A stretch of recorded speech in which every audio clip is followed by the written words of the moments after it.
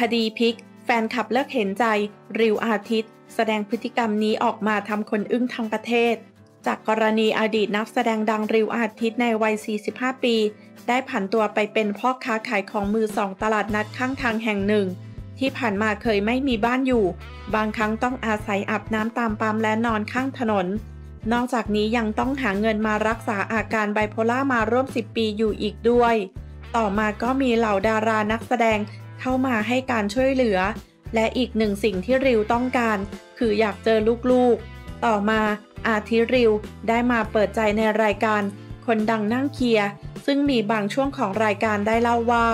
สำหรับครอบครัวเก่าก็ไม่ได้ติดต่อนะครับ ผมไม่อยากจะพูดถึง แต่ลูกๆผมคิดถึงลูกอยู่แล้ว ขอบายในเรื่องเก่า แต่เรื่องใหม่ผมมีสัญญาณชีพที่ดีด้วย ผมเพิ่งได้รับโทรศัพท์มาเมื่อกี้ว่า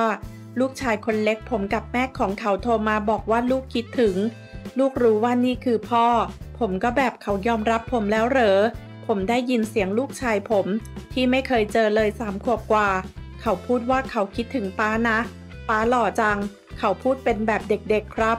ล่าสุดมีแฟนคลับหลายคนเข้ามาเม้นด้วยความเป็นห่วง แต่มีรายหนึ่งร่ายยาวอย่างเป็นห่วงริวว่า